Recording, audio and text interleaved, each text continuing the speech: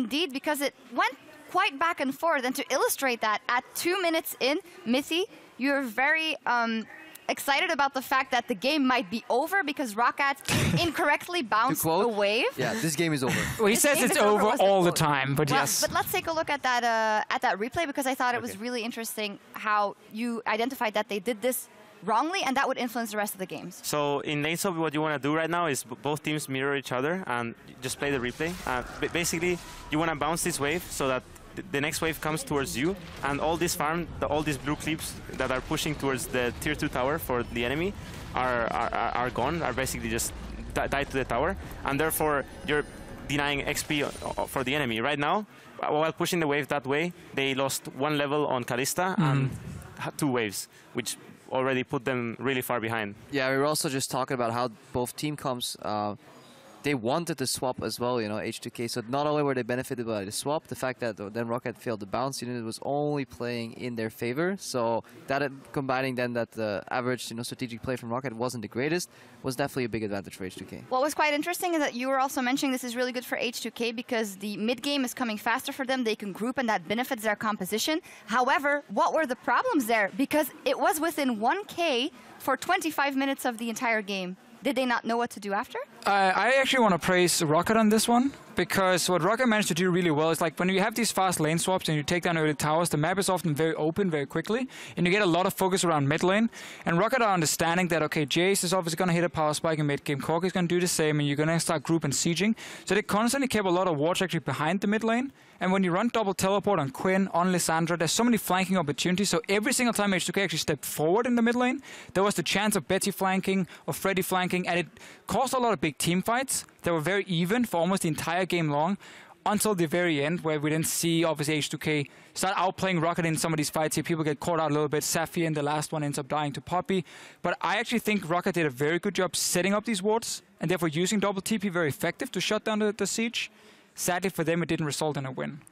I think they did a really good job at setting up flanks to uh, to avoid the sieges. But I think that the main problem that caused them not to be able to siege so well was the fact that mid lane uh, lost a lot of pressure with the first death. It, it made Lissandra be able to push first the waves and not let uh, H2K create waves for them to push on because Lissandra had the pressure in mid.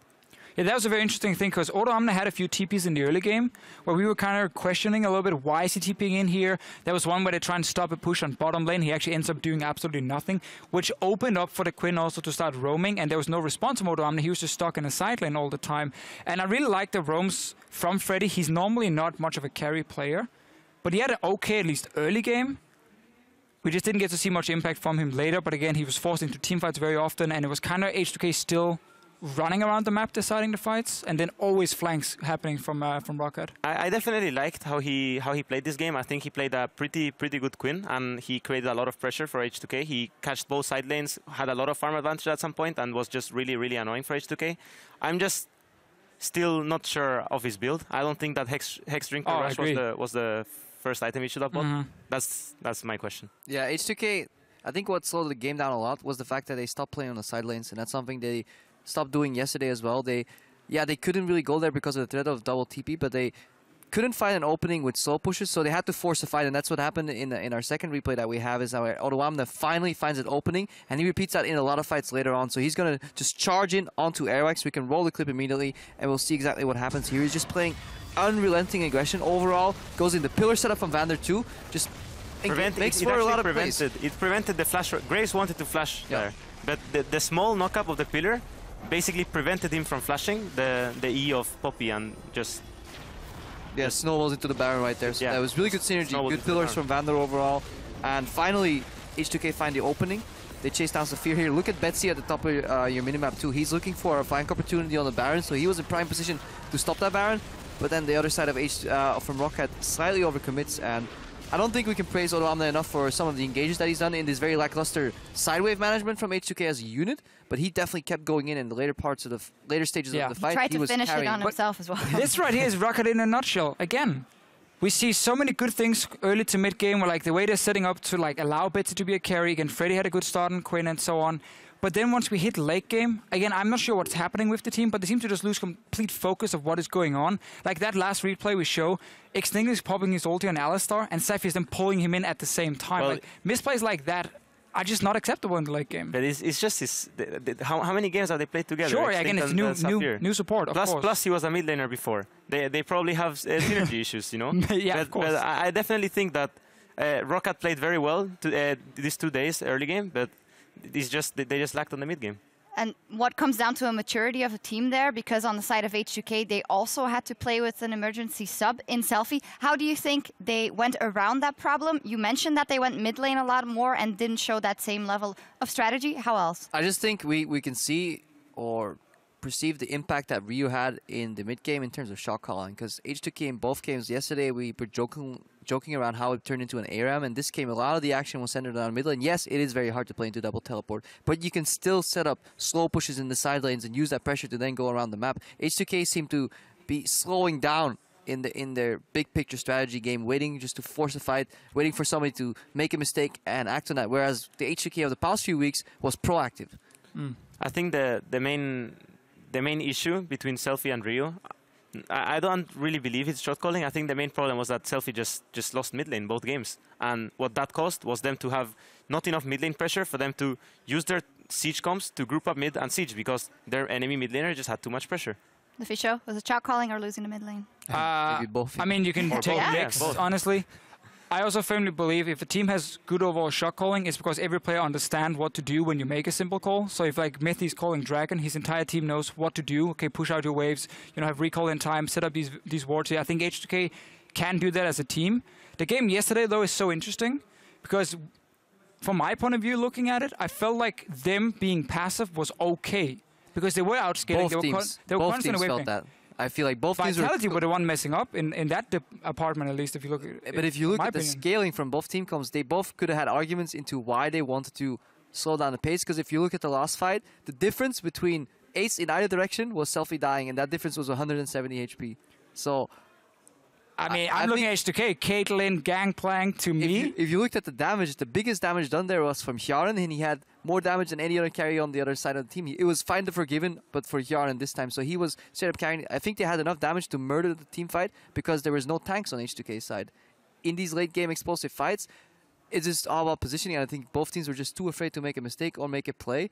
Uh, but it, it could have gone either way. I mean, you can't say that that team fight was convincingly won. At by least we can say, had that team fight happened 10 minutes earlier, H2K would have lost it straight up. Yeah, true. Completely. So them waiting it out and out, or trying to outscale, at least gave them a better chance of winning a late game team fight.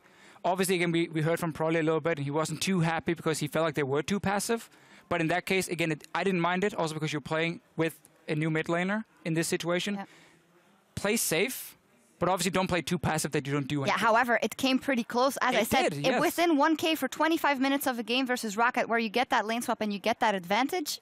Can't, I mean, I, it's still the mid laner coming in. It is a substitution. I It think we can forgive them. They are still 2 0. They are 2 0, they can be happy with their week, but Yeah. obviously there's a lot of things to work on now, and then we got to see when Ryu can be back for the lineup. Indeed, but let's take a look at the standings because there's a third of the splits game behind us already, and it's G2 and H2K who are riding high in first place. And at the middle of the table, Vitality, UOL at 4 and 2, Roccat 1, 5 Giants, 0 and 6. Let's start um, with G2. Today they had the game of the week versus the Unicorns of Love, and it seems we're coming to the consensus that this is a team that is on the top to stay. Um, what could be their downfall for you guys, or what makes you say that they belong there, Deficio? Um, I think what we see from G2 now, also with some of the new composition they're playing, this is something Perk said himself in one of the interviews, is that you have to be able to play different comps in this current meta. And they're showing now different things. They're showing these poke comps today and, and yesterday against Fnatic, you know, Corky mid lane for Perkz. So I think individually, these players will always be very good. I love how you're highlighting the two mistakes G2 made by the way. Well, we have the 3v4 in the bottom where they could have disengaged, and then we have the Baron throw. But overall, it does show that G2 as a team is not afraid to go aggressive and is not afraid to look for the outplay. And I think in this meta, you, you, you're better off looking a bit too much for the outplay than too little. I just want to say there are a few times where we do question really why do they make that play? Where either they don't have teleport or it's like a 3v4, but they are super, super aggro and you can surprise teams by being so aggressive very, very I think the biggest weakness of uh, G2 right now is A, their top laner. I think that he's in most of the games. They ha- obviously they have won nearly all their games, but uh, the one that has been struggling the most is him. But he has uh, he, he's basically changed roles, so he has a lot of time to learn. And the, the other weakness is is just like just being a bit more cohesive and just trying to tone the pace of the game a bit down and trying to like calm down because sometimes they just get struggle with double TPs a lot.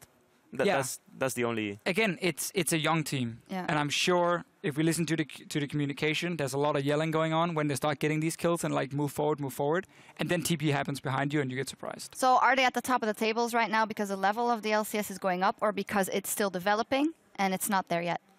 I think. ooh, what do you think? both. I think they're really good. I think they're a really good up and coming team. They can become much much better. I don't think they're at their full potential or anything close. I think, But I think other teams are learning too. sorry. What do you think, Rep? I, I think a lot of things. Uh, just I think they got uh, not lucky with the meta, but it seems to suit the type of players they have. So in Perkz of like these players that want to go aggressive and have good mechanics. In Emperor, who's like he likes dashing forwards for trades overall. You have Hybrid, who's a good peeling support, but also just has good mechanics.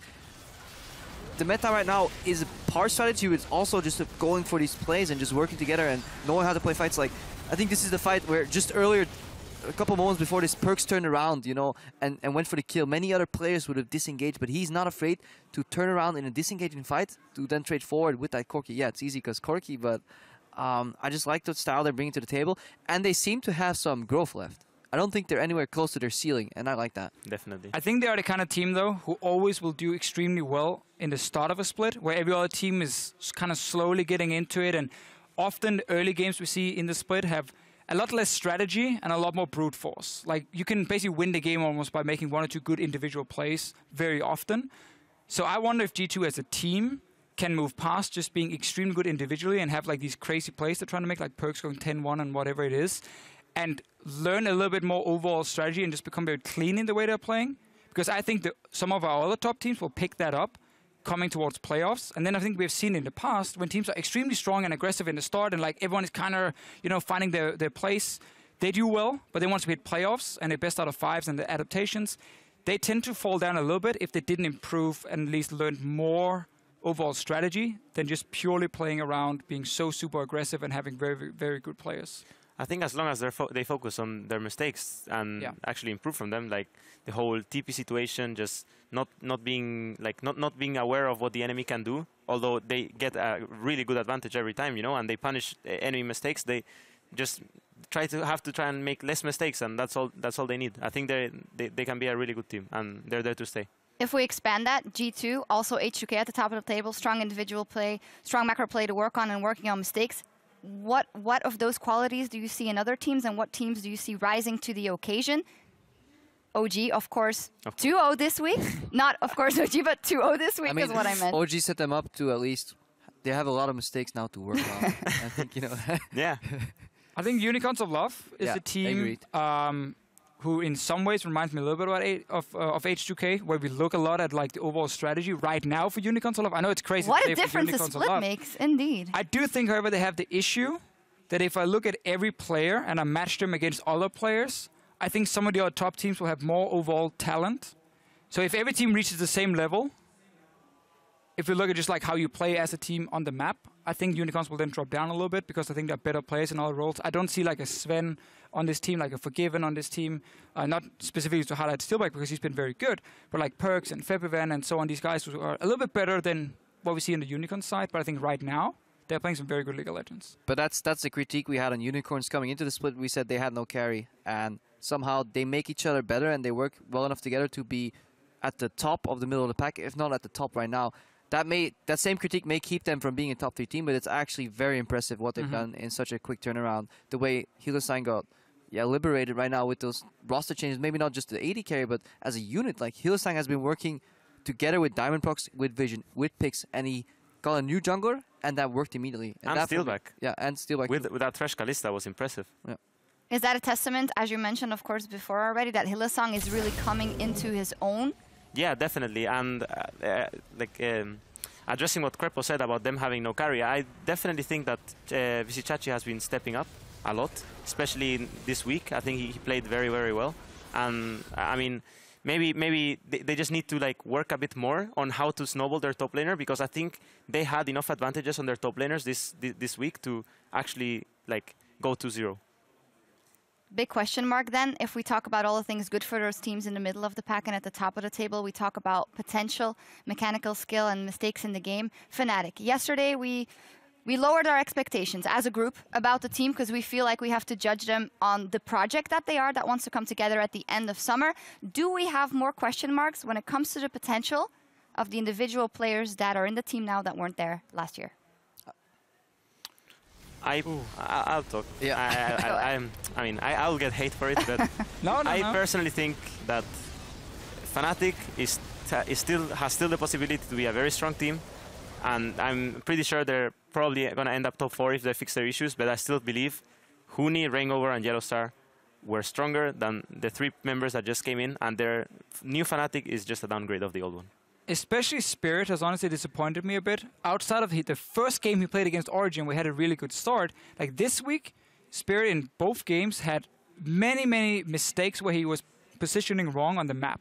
And like he would get caught out, he would take random duels in the enemy jungle where his own lanes were already pushed up to their towers. And he's playing a little bit too much like Spirit of the Summer Split in LPL, where he is like trying to be the solo carry all the time. He doesn't need to be the solo carry on Fnatic, and he needs to change that. And yes, I mean, Huni compared to Gamsu, we haven't seen the same performance either. I'm just also just looking at the overall shot calling for Fnatic. Like, when we see the moves they're making in game, it feels like they come 10 minutes later than they were supposed to arrive. They're also just skipping steps. I, I definitely agree with, with Spirit overextending. Like we saw the, the overextending and the 0-3 grades in the early game. Today as well, he was playing Nidalee. He was trying to poke way ahead of his waist, got caught by a binding, and they lose the momentum. But what strikes me the most is that Fnatic, they're skipping steps in the vision game. They're continuously going. They started that Baron four times in the spans of like what six minutes, playing against three blue trinkets without even pushing the waves all the way to the base. They had cleared the towers. All they needed to do was push. Well, it's really simple, you know, but they needed to push in the waves, then take control of, of the jungle um, deeper, and then go for the Baron. So, but they skipped a, a step and they just kept trying to bait the Baron or do the Baron and hope that the enemy team wasn't checking it with the blue trinkets. But that is too naive to play on this patch.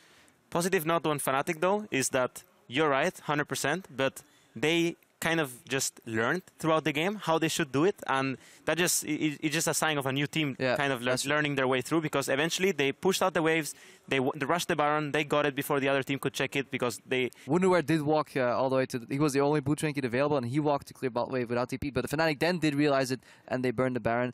It is just that we hold them up to the standard of Lost Split, and Yeah. that perhaps is sometimes unfair to do because We look at the name. The I mean, core that's left. it. Yeah. We look at That's, Fnatic, it's the look same Origen. what we do at Or. Exactly, it's the same what we do with Origen, and you guys are also dealing with growing pains. I mean, we've talked about it so many times already, the communication issues, and, and you've addressed it as well with the Baron play today. Overall, 2 0 still. We saw a lot of tweets from you guys yesterday that you weren't happy with your play. What's your main takeaway after this 2 0 week? Mm, I think we played better than last week, and last week we played better than the week before. So things are going good yeah, Pretty in that easy. regard.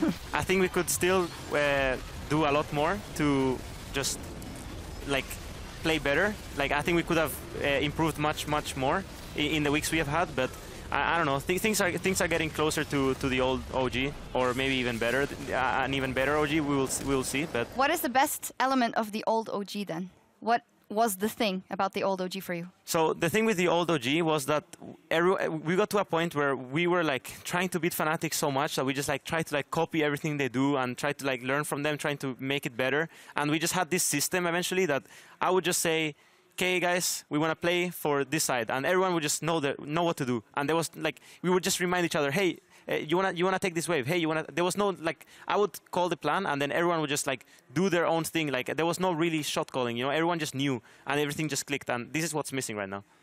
A lot of the community always talks about Power of Evil coming into the mid lane and Spec is stepping out. I actually want to hear from you. How much do you feel changing mid laners has, has done for you guys? Do you feel like it's, it's made some negative changes or some positive ones? Like, do you feel like it's anything to do with Power of Evil getting into the mid lane, or is it more the entire team? I think um, that there's there's two things. I think the team itself. I think we we are not performing to our level individually, and al- also like teamwork without counting Power of Evil is is not the same as it was before. But uh, counting like talking about Power of Evil and comparing him to Peke now, I think Power of Evil overall. I, I mean, sorry if I like sound judgmental or anything, but uh, I think Peke was worse than Power of Evil mechanically, but he just uh, gave more to the team since we had been playing for one year. And as I said, we just clicked. He was like he was like very into map movements and rotations and where he should be, and he was like playing very self-reliant and more towards the team.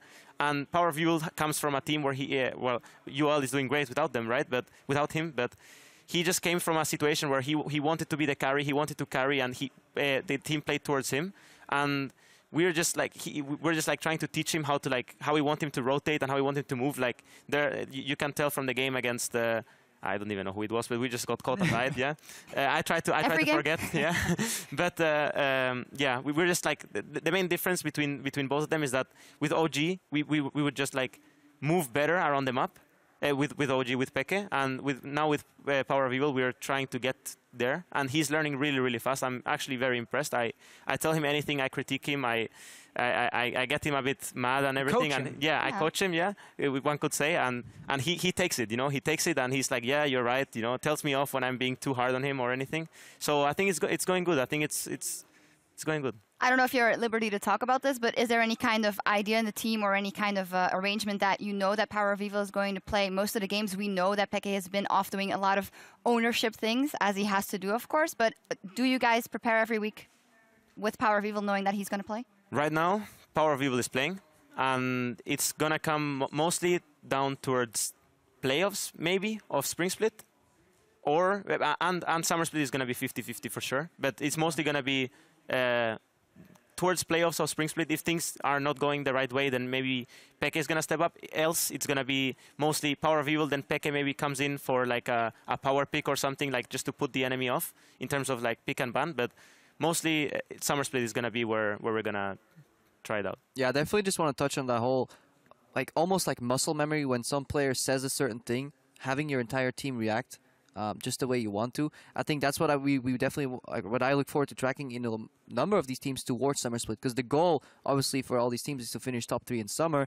And I think a team like G2, if they get get, get a similar mechanism down where if hybrid says we play for this side, we play for that side, and the entire team reacts in the same way, that we could see uh, vast improvements in certain teams. That's quite interesting to me. You talk about muscle memory and the people playing together. You have uh, Zven on your team, obviously. Yesterday it was Power of Evil on Lulu and Zven on Lucian. And that is one of those typical interactions that I think you have to be completely on the same page. Is that more Zven reacting and him just getting a shield whenever? Or is that the mechanics being right for both of them? No, no, there's actually no interaction. The, the interaction is uh, usually there gets to the point where uh, Power says, "Okay, I have items now," and Neil says, "Okay, okay, I can carry now. Just speed me, and, we, and I and I will win." You know, and then and then we just try to like. Uh, at some point, like I personally, you know, like uh, Power talks about talks about it after the game. He's like, "Fuck, I was worried. I just ulted you when I couldn't have," you know. But for me, it's like whatever. If you want to solo lose the game and you want to just run into five people, then it's your fault, you know. And I'll just flame you after the game, and I'm okay with it. So I'm not Zven- stressed out when we play. Zven is the most confident player I know. Yeah. Like every time I talk to him, he's like, you know, I can just carry against everyone. I don't care. I can like 1v9 everything. every single time. It's also sadly for him what gets him killed quite a few times or sometimes. But so far, it's not really been any uh, game changing things. He's been a fantastic carry and hey, The, the progression he's made in, in a year of pro play, coming from Challenger straight to Summer Split, straight to Worlds, I think he is, is one of the, the biggest discoveries, uh, almost equivalent to for me uh, to to Fabian. When if you compare Fabian, when he failed to, I even think get into the LCS once or Twice. Twice. twice with Twice. you know with H2K, and then Yeah. Tilt got in, and then how he started and where he is now. Yep. Yeah. The the players he is named amongst right now, compared to where he started, compared to like two years ago when he posted on Reddit as like the Riven one trick, that progression, I see some of the same in Niels. discussion. Yes. Last Alright, host. year, last year, sorry to take you, you No, up here, but last year, who was the best? Febiven or Zven? Who had you know the most impact? Who was the most important player? Oh, that's the impact is something different. I know? mean, impact within the I team. think Yeah, but like to me, that's a big part of who. I was the think I think it's an unfair question because uh, last year you, you asked about last year, right? Yeah, yeah. Last year, AD carry was more of a carry role than mid lane. Mid lane would just sit back and farm and maybe get TP, you know, like like it was at Worlds. So it, it's it's just hard to judge. Well, we'll see. so it was the guy on his team. That's Yeah, what it he's saying. Yeah, yeah. He's basically saying Zven. Uh, finally, maybe about Sven, something to illustrate his confidence. Last year at the summer finals over in Stockholm, before the final versus Fnatic, I was like, "Hey, uh, you know, how are you doing? And you know, are you thinking of the gauntlet at all? Because if you guys didn't win, you had to run through the gauntlet to get to Worlds." And he said, "I'm not planning on playing that one." I'm like, "All right." So, but I mean, it's something he he can be like that at this point because Confidence at is this- great Yeah. because you can go on stage as a rookie and you don't care. You can honestly, your team can rely on you to play as good as you normally do, Yep. and that's what uh, Zven can always do. Definitely. Good. He backs it up, Zven though. is good. Yeah, sure. That's the thing. Yeah, there's a, there's a point where you need to back up the confidence with good play, and that is so you can't always play on the front line. Ah, you know, predicted dodge, but not. I, thi- I think Zven plays a fantastic AD carry, and he's really annoying to play against. I think Mithy shares some of the same traits, where uh, going into the match you'll always be confident. I don't think either of them are really prone to tilt. Well, I've se- I've that's seen Zven- changed. I've seen That's Zven changed, tilt because once. Mithy Wow. back in the day Wow, on super stage, tilt. That's strange, yeah. massive tilt. Joke- Literally, no, like, no, the game. I think the term champ we use is you just like tilt. He's Choke. just gone. Yeah, really? We- I, I didn't. that. I didn't get that when I was playing against you. Ah, okay, fair enough, fair enough. When you, play you- you promotion, on remember that far hand, back? Well, it's about uh, time to wrap that up and actually ask Mithy some more questions because earlier today we asked you to tweet your questions for Mithy with the hashtag AskMithy. And from at Catslall wrote, with vision items being toned down in 2016, do you find it easier or harder to take control of objectives like Baron? Open to interpretation. I think that vision items don't really m- make any any difference. It's mostly the, the trinket, the orb, the, the, the having three orbs instead of one that we had you had before is the is the main difference in in terms of like controlling objectives, like Baron. Okay. Anything to add, Krepo? Ah, it was that Mithy, it wasn't at me. But I, I mean, I thought you wanted No, add no, I. I like. I think, I think vision doesn't matter in terms of war because both teams are operating with the same thing. Uh, but I do think blue orbs make it a lot harder to bait uh, barons. But I do think teams get rewarded a lot more for taking deeper control of a jungle behind the baron because once you clear the blue orbs down, they still have to face check through all those bushes. Which is why we see more and more teams now switch over to yellow trinkets when they are in the Yeah. lead and they're the ones setting up the Baron because you can place those wards deep. Enemy team can't clear them unless they know it's there and have to sweep it out. So like those are very important then to constantly bait that Baron because you gotta get through like three blue trinkets and then you can get your Baron. If you do that, I mean you deserve it. And didn't you also want to ask Mithy about the pink wards? Because we ran a stat here earlier in the show about the amount of pink wards that Kasing has. Oh yeah, we Double already talked yours? about that off air, but I guess we should do it again. yeah, it was very interesting. That's why I'll bring okay. it Uh, up. so Okay. the, the critique is that there are supports in the LCS right now uh, significantly placing more pink wards. More importantly, because they're moving them a lot more. The death rates of pink wards is, is generally not because they're being killed, but because teams are repositioning them. Mithy, your take on it? So, oh, what? my call on it is I need my gold so I can carry. So, fuck pink words. Well, there it is. Yep. That's it. I don't. Yeah, be careful with that language. I almost got fired for that today as well. That's three on the day. I think we I'm need to gonna move write on. yeah, $500 fine here for me. There we go. Let's get another question in there, one that could be very good for you guys playing a dynamic queue. There, Ska Vampire tweeted, uh, when winning lane, when and why are you leaving your ADC alone to start warding or roaming? Mm, so usually what I do as a support is um, I uh, tend to push the wave in, and then usually when you push the wave in to the enemy, like when you're ahead, usually you en- end up pushing to to the enemy. And what you do is when the wave is gonna bounce back to you, you have this opportunity for your AD to stay in lane alone, since the wave is gonna bounce back to him anyway, and he eventually can get it out his tower. To use that opportunity to roam either to either alone or if you're playing in a team, usually you want to roam with your jungler. So if you catch someone off, you actually have more kill potential. That's basically the moment where you can roam off, get the wards, get the picks.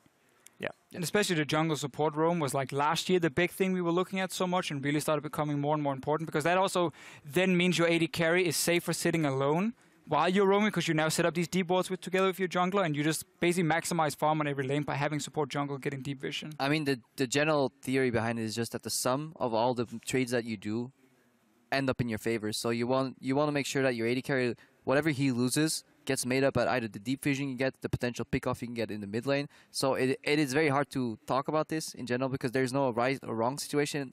It's just what you do with it.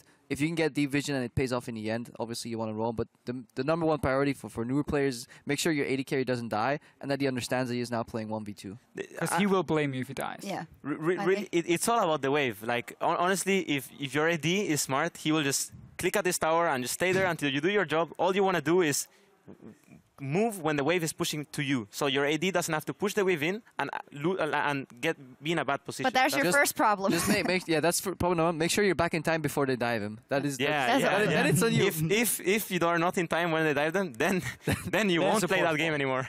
well, thank you guys